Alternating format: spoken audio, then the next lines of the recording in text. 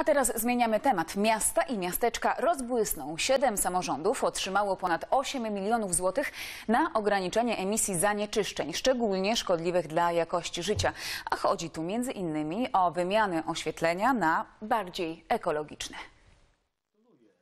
Środki na dwa projekty otrzymała gmina Ulan Majorat. Zadania, jakie zrealizuje za prawie 5 milionów złotych, to przede wszystkim wymiana starego, nieekonomicznego oświetlenia i budowa nowego. To jest bagatela niespełna 300 sztuk y, nowych punktów oświetleniowych, także wyposażonych, e, wyposażonych w energooszczędne oświetlenie LEDowe, te same zasady, ta sama oszczędność energii. Najwięcej środków w tej edycji programu, czyli 2 miliony złotych, otrzymał Radzeń Podlaski. I tu też lampy błysną bardziej przyjaznym dla środowiska światłem. To jest kwota bez mała 2 miliony 100 tysięcy złotych i zostaną przeznaczone na wymianę oświetlenia ulicznego z tego starego, żarowego, często sodowego na em, oświetlenie energooszczędne i z tego tytułu osiągniemy em, oszczędności rzędu pół miliona złotych y, rocznie, jeśli chodzi o zużycie energii elektrycznej. To kolejna już transza środków przekazanych w ramach tzw. promocji niskoemisyjności.